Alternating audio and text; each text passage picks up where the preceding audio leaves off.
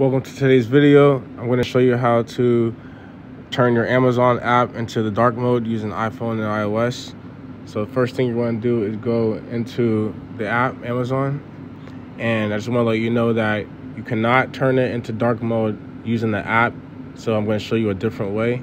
So let's, as you can see, the app is all white and stuff like that. Let's get out of here and let's go into settings.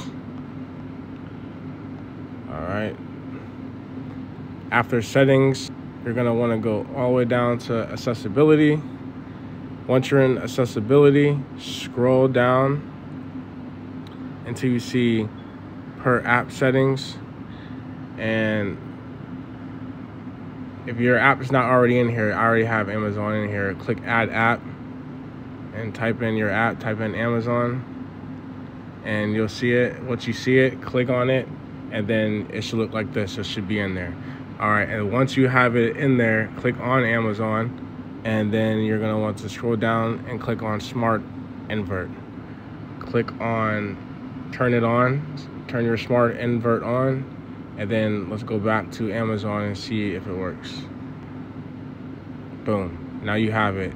Now you have the dark mode for Amazon. If you have any questions, comment below. Make sure you like, subscribe, and turn on your bell notification. Thank you for watching.